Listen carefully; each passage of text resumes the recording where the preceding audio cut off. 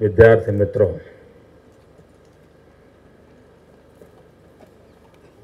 आज सफलता को पाकर के जीवन के एक दूसरे दायरे की ओर पर प्रस्थान कर रहे सभी नौजवान मित्रों को मैं बहुत बहुत शुभकामनाएँ देता हूँ।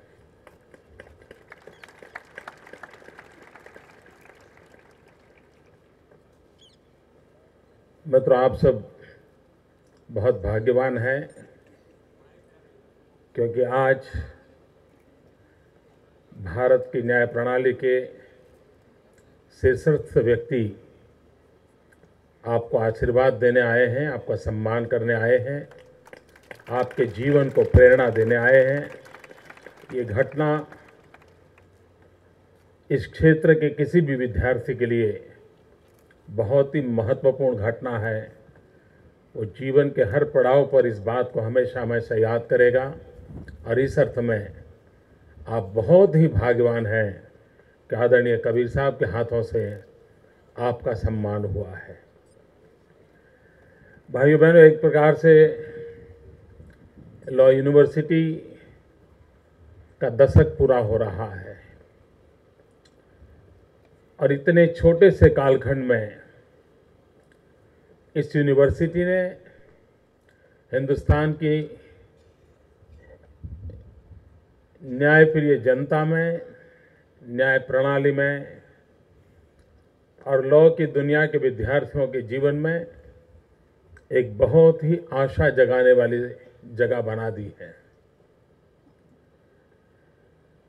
जब ये लॉ यूनिवर्सिटी का प्रारंभ हुआ था तब एक छोटे से मकान में हमने प्रारंभ किया।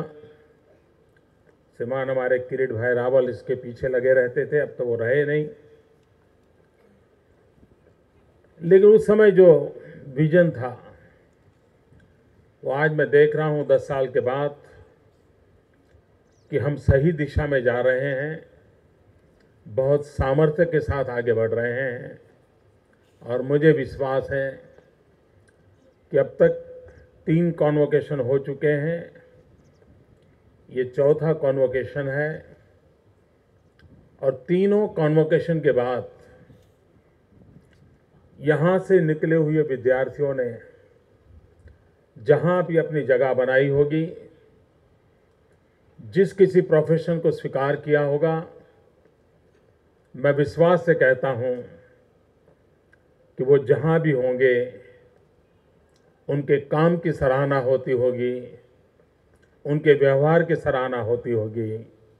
और वे भी जब तारीफ़ सुनते होंगे, तब हर पल इस यूनिवर्सिटी को याद करते होंगे और यहाँ के संस्मरणों को अपने फिर से एक बार पुनः स्मरित करते हुए जीवन में एक नई ऊर्जा प्राप्त करते होंगे। मुझे ये भी विश्वास है कि एक प्रकार से ये लॉ यूनिवर्सिटी लघु भारत है। और इस लॉ यूनिवर्सिटी से जाने वाला हर विद्यार्थी न सिर्फ़ लॉ की डिग्री लेकर के जा रहे हैं, ऐसा नहीं। यहाँ से जाने वाला हर विद्यार्थी मेरे गुजरात का एम्बेसडर बन के जाता है। वो जहाँ भी जाता है, मुझे विश्वास है, वो भूरी भूरी प्रशंसा गुजरात की करता होगा। और सबसे ज़्यादा मुझे खुशी इस बात की है कि यहाँ पर देश के कोने कोने से जो विद्यार्थी आते हैं, उसमें अधिकतम विद्यार्थियों का पारिवारिक बैकग्राउंड भी लॉ फ़ील्ड का ही होता है। या तो पिताजी वकालत में होंगे या जुडिशरी में होंगे तो उसी दुनिया से ज़्यादातर विद्यार्थी आते हैं। और इस प्रकार से पूरे हिंदुस्तान की न्याय व्यवस्था और प्रणाली में आपके माध्यम से गुजरात की सही और ऊँची बात पहुँचती होगी, ये मुझे पूरा विश्वास है। और उसके कारण आपके माध्यम से देश और दुनिया में आप जहाँ जाते होंगे, लोगों को गुजरात की सही बात बताने का आपको अवसर मिलता होगा, और गुजरात को भी इस बात का गौरव होता होगा कि जो विद्यार्थी हमारे यहाँ आए थे, वो आज हमारे दूध बन करके दुनिया में पहुँचे हैं और हमारे राज्य की प्रशंसा और प्रतिष्ठा बढ़ाने में वो अपना योगदान देते हैं। विद्यार्थी मित्रों, जीवन में विद्यार्थी काल में एक अलग मस्ती होती है, एक अलग आनंद होता है। लेकिन जिस पल ये प्रमाण पत्र लेकर के बाहर निकलते हैं, उसके बाद ज़िंदगी अनेक सवाल लेकर के हमारे सामने खड़ी होती है। अनेक प्रश्नों को लेकर के खड़ी होती है। और तब जाकर के हमारी शिक्षा दीक्षा की सही कसौटी प्रारंभ होती है। अब तक जब आप पढ़े हैं, तब किसी ने किसी ने आपका मार्गदर्शन किया है। कोई न कोई था जिस जो आपको उंगली पकड़ करके आगे ले जाता था। कोई न कोई था जब कहीं गलत हो जाता तो कहता था, भाई, ऐसा मत करो। कोई कहता था, जरा इतना ज़्यादा करो, यहाँ करो, ये करो। मित्रों, इस पल के बाद कोई नहीं मिलेगा जो आपको ये कहेगा कि ये करो, ये ना करो। और तब जाकर के आपके भीतर का जीवन, जो यहाँ से कुछ स्मृतियाँ रही होगी, वो आपको गाइड करेगा। हाँ यार, मैं सेकेंड ईयर में था, मेरे एक टीचर ने मुझे ये कहा था, ये नहीं करना चाहिए, नहीं मैं नहीं करूँगा। मित्र, ये ये, यही तो ज़िंदगी की शुरुआत होती है। और मुझे विश्वास है मित्रों, यहाँ का हर पल, यहाँ का पूरा अनुभव, आपको जीवन के आगे के काल में जब भी जहाँ भी कदम रखोगे, आपको एक नई प्रेरणा भी देगा और मार्गदर्शन भी देगा।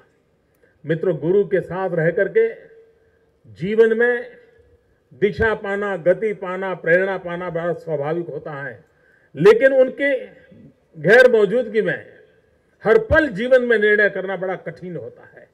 लेकिन वो तब निर्णय कठिन सरलता से होता है कि अगर हमारी शिक्षा दीक्षा ठीक हुई है तो उन संकटों को भी हम पार कर सकते हैं। मुझे विश्वास है कि सभी नौजवान हर संकटों को पार करते हुए जीवन के सभी सपनों को साकार करने का सामर्थ्य प्राप्त कर करके इस धरती से आगे बढ़ेंगे, ऐसा मुझे पूरा विश्वास है।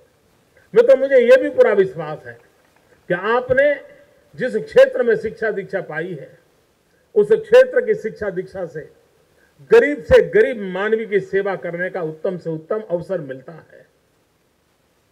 किसी भी व्यक्ति को न्याय दिलाना ये छोटा काम नहीं है। और जब इंसान को न्याय मिलता है, तब अपनी ज़िंदगी को पार कर लेता है मित्र। कभी कभी तो व्यक्ति प्रोसेस से परेशान होता है। न्याय लटकता रहता है, तब बहुत परेशान रहता है। सजा से भी वो ज़्यादा संकटवान होता है। और जो वकील डेट पर डेट लेने की आदत रखते हैं। शायद उनकी तिजोरी तो भर जाती होगी, लेकिन उस गरीब मानवी के मन पर जो बीतती होगी, इसकी कोई कल्पना नहीं कर सकता है। और इसलिए मैं प्रार्थना करूँगा मेरे इन नौजवान साथियों से कि हम गरीब की भलाई के लिए क्या कर सकते हैं। उसको सही न्याय मिले, जल्द न्याय मिले, उसके लिए क्या कर सकते हैं। और एक वकील चाहे, इस इस दुनिया में लगा हुआ इंसान चाहे बहुत कुछ कर सकता है। और इस यूनिवर्सिटी से निकला हुआ विद्यार्थी ज़रूर उन गरीबों को ध्यान में रख करके करेगा, ऐसा मुझे पूरा भरोसा है। भाइयों बहनों, आप इस लॉ यूनिवर्सिटी से जा रहे हैं तब आप ये मत सोचिए कि आपके पिताजी के पास पैसे थे, आप अमीर घराने के थे, आपके पिताजी अफोर्ड कर सकते थे, इसलिए आपको इतनी अच्छी यूनिवर्सिटी में पढ़ने के लिए भेजा था, आपको यहाँ रहने के लिए अवसर दिया था यहाँ के सिर्फ़ प्रोफेसर की तरफ़ मत देखिए, जिन्होंने आपने पढ़ाया है। उन किताबों को सिर्फ़ मत याद कीजिए, जिन्होंने आपको जीवन पर साथ दिया होगा। मित्रों, कभी आप जीवन में ये, उस पेड़ को भी याद करना, जिस पेड़ के नीचे बैठ करके कभी कभी आप सोचा करते थे। उस चाय की किटली वाले को भी याद करना, जिसने कभी आपको आधी रात को चाय पिलाई होगी। उस गरीब को भी याद करना, दोस्तों। और यही तो लोग हैं जो हमारी ज़िंदगी बनाते हैं। ये सामान्य से सामान्य व्यक्ति हमारे ज़िंदगी बनाता है। कभी कॉलेज के किसी फ़ंक्शन में जाना होगा, कपड़े कपड़े प्रेस कराने बाकी होंगे। कभी दूर सुदूर किसी धोबी को कहा होगा, यार जरा आ जाओ। वो बेचारा गर्मी में पसीने से रेब जेब अपनी साइकिल लेकर के दौड़ के आया होगा। आपके कपड़ों को प्रेस कर दिया होगा और अपने बेटे ठाठ से निकले होंगे। मित्रों, उस धोबी को भी याद करना, जिसने आपकी ज़िंदगी को बनाया है।